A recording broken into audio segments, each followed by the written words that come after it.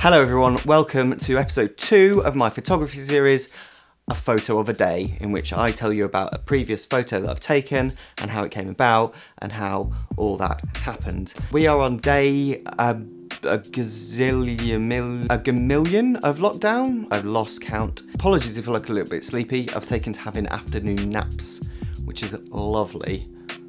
Not an irregular occurrence anyway, but lockdown seems to have sealed the deal on the old napping front. Also, I'm wearing a beanie. The temperature has plummeted the last couple of days. Let me show you. Uh, let's do a little quick video here out of the window. Look, snow. It has been raining the last couple of days, which is nice. I quite like a little rainy walk. Um, but hopefully it won't last too much longer and we'll get the sun back because big announcement yesterday. Apparently, pretty soon, in less than two weeks, lockdown measures could be eased slightly, in which we won't have to have a piece of paper to leave the house. We'll be able to go up to 100 kilometers away from our house. We'll be able to do sports.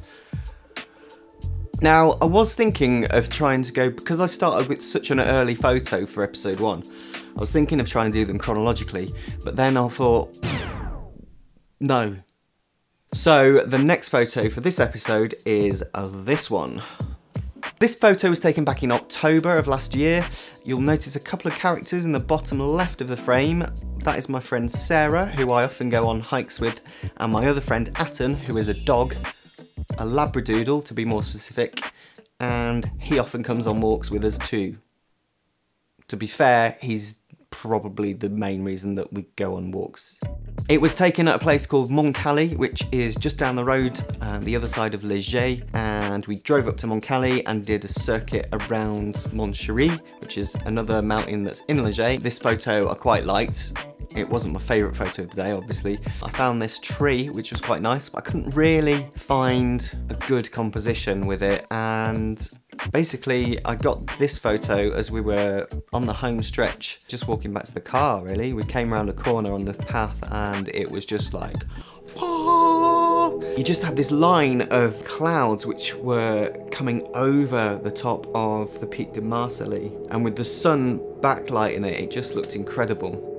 Stunning view, and I had to take a photo. I didn't really know what I was doing at the time because the sun was shining in the lens and trying to expose for that and then the foreground as well was very very tricky and I kind of struggled to be honest.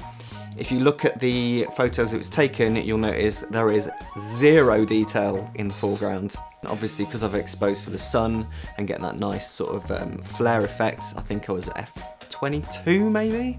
So I had to bring up the exposure in the shadows. So that was a hell of a baptism of fire with the denoise tool in Photoshop Camera Raw. Managed to denoise it quite well actually. I was really surprised how well that came out in the end. What I really love about this photo is the way that both Atten and Sarah are just looking up in awe at that mountain with the clouds on that. And that's completely natural. I was just snapping away as they were walking away from me down the path. This photo wouldn't be that good if they weren't in it. I've seen a lot of videos and a lot of photographers get really um, anal about removing lens flare and I get that lens flare is quite a cheesy kind of thing. I remember when Photoshop first came out and there was that lens flare filter and everyone went mental with it and they were putting on like designs and photos and I don't know, in my opinion, in this photo, it kind of works and I left it in. I could have edited it out but I quite like that it's there and it's a natural lens flare. So that's this episode's photo. Hope you like it. Um, let me know what you think. You might hate it. What do you think of the lens flare? Is it good? Is it bad? Subscribe if you want. Look me up on Instagram if you want. I hope you're staying safe. I hope you're going to be released from your prison soon and we can all get back to normal taking lovely photos in the countryside.